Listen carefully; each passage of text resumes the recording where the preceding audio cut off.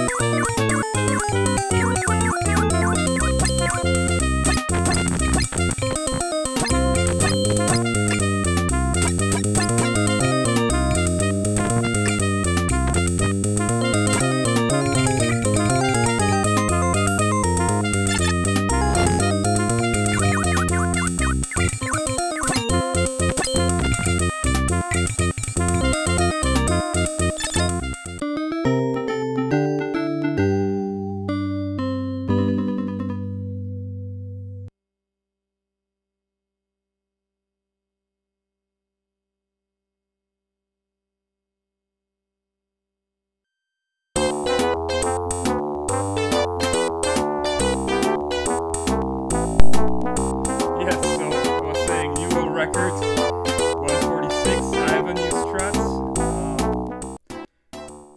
and by the way, the run was made on uh, RetroArch Genesis plus GX.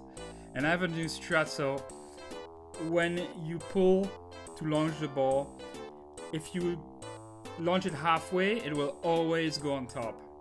So always make the ball go on top, and then yeah, use the flippers to go to make it go on the upper right.